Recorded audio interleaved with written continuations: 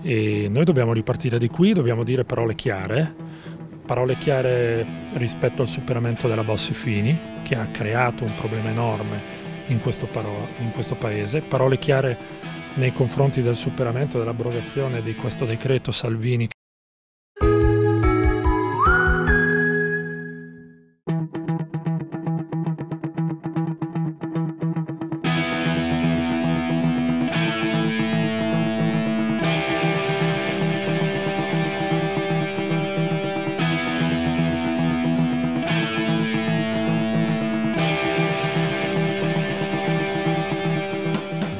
Questo è uno dei progetti che con eh, Salvini, Ministro dell'Interno, sarà progressivamente smantellato. Bisogna difenderlo perché queste sono le esperienze che fanno integrazione nella cittadinanza, nei diritti, nei doveri, nelle responsabilità e l'alternativa a chi soffia sul fuoco delle paure generando insicurezza con dei finti decreti di sicurezza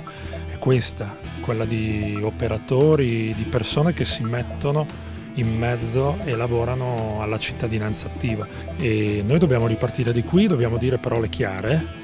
parole chiare rispetto al superamento della Bossi-Fini, che ha creato un problema enorme in questo, in questo paese, parole chiare nei confronti del superamento dell'abrogazione di questo decreto Salvini che genererà 100.000 irregolari in più in due anni e questo è inaccettabile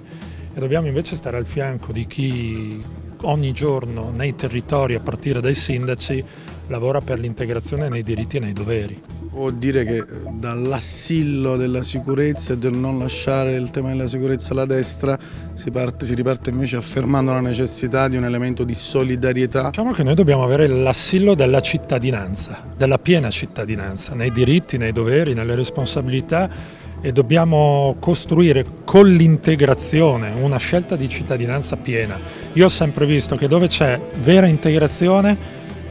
c'è meno insicurezza, dove non c'è integrazione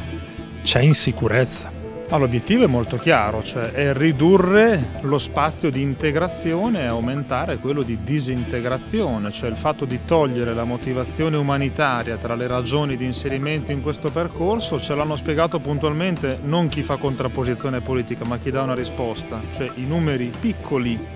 ma fondamentali per l'integrazione che produce questa struttura, oggi vengono spostati con eh, il, il, il prendere le persone, portarle nelle stazioni dei treni, negli aeroporti, cioè proprio quella situazione sulla quale ha fondato la fortuna un pezzo significativo di questo governo, cioè una situazione di insicurezza, di situazione fuori controllo, viene generata scientificamente. In più c'è una motivazione di fondo. La nostra Costituzione parla di riconoscimento delle persone. La Repubblica e lo Stato riconoscono le persone prima ancora della loro cittadinanza.